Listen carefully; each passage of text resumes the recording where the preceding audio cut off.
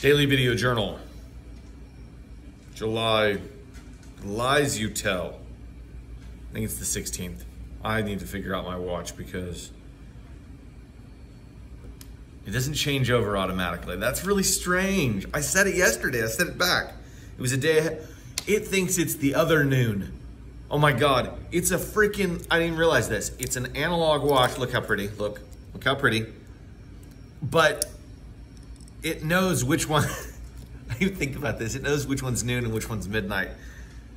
Oh my God. How am I, how am I supposed to know though? Like looking at it, like it ain't have numbers. There's no numbers. I should have to guess. Like even still, like how would I know? I have to. I guess I have to pay attention to like when the uh, when the date switches over. Anyways, stupid. So it's July 16th, 2024, uh, and I think we finally figured out what we're gonna do about my wife's car. So for those of you that don't know, Nissans between certain years uh, with automatic transmissions, they don't have automatic transmissions. They have CVT transmissions, like I don't know what that stands for, but like we'll pretend it's like controlled variable transmission. Yeah, sure, why not? CVT.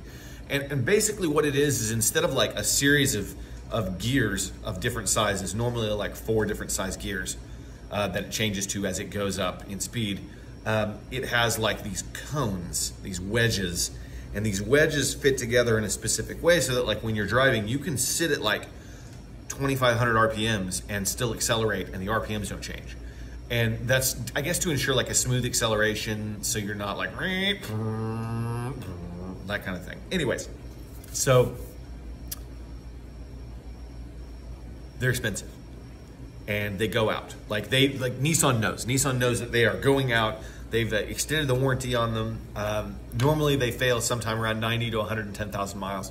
They have an 84,000 uh, mile warranty on them. Ours went out at 90,000 miles. Go friggin' figure. So we've been looking for someone to fix it. Well, it's money I don't want to spend. I don't have the money. I don't have it. But I got to spend it because right now the wife and I are sharing a car. She's driving me to work in the morning, then she's going to work, and then she's coming to pick me up, and it's like not to work. Not to work for long. So um, it turns out we found uh, a guy who will do the uh, do the work, get us the transmission, give us a three-year warranty, and give us a discount because it's through uh, because we have a police family. Um, Four thousand dollars. Four thousand dollars for this freaking transmission. But hopefully we can get it done sooner rather than later. I'll keep up on the oil change stuff. Or not the oil change, the uh, transmission changes. I'll do it every forty thousand miles or so, and that should keep it running smoothly for the next five minutes at least. And hopefully if it goes out again, it'll do so at two years and 360 days. Yes. So that's partially solved. Um, candles. So here's the thing. I make candles for my books and they're great. Love them. They smell amazing. They're super high quality, soy coconut, very clean. But the problem with burning, with, with selling candles is they burn. And anything that burns that you sell, you have to have insurance on because if someone uses it improperly or the candle explodes or whatnot, which, whatever, um, the business has to be covered.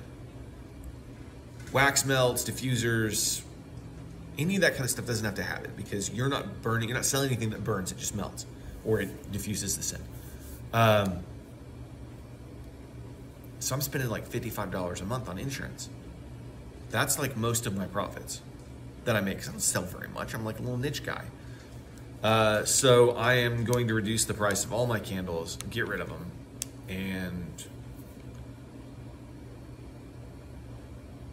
yeah, get out of the candle business. I'll probably switch to diffusers at some point, but for now, I need to start talking about it so I can get people to buy my stock up.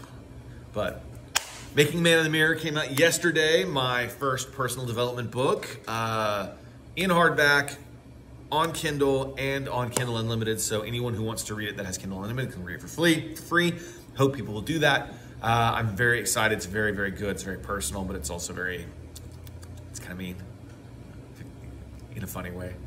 But that's that. Like, I think today mostly I'm going to spend all my time trying to get some writing done because I didn't get any done yesterday. I was working on other bullshit trying to get this place cleaned up after coming back from my vacation. So it's time. Uh, I'm losing weight, doing well, heading in the right direction, trying to get rid of this freaking caffeine problem. I'm waking up every day with a headache because I'm only having caffeine once in the morning and I'm not having any more else any time of day.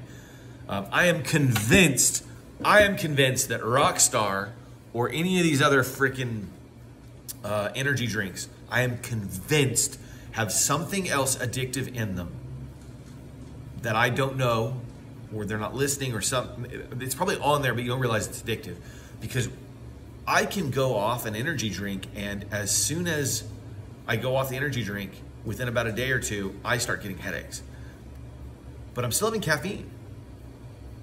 So I don't know what it is in the drink. It's not sugar because I don't drink sugar. It's sugar free. I don't know what's in there that, that's addictive that makes me have this headache problem that's not caffeine because you would think that that's all it is, but there's something else in there that's sneaky that's addictive. And that would explain why no matter what I drink like throughout the day, I still crave one. There's something in there. I don't know what it is. I know it's terrible for me and I'm trying to quit. So I haven't I haven't wanted one, which is good, but I do know I can tell that my headache is a haven't had a Rockstar. So anyways, that's it for the day. Uh, I'm gonna fix my watch because this is silly. But bye now.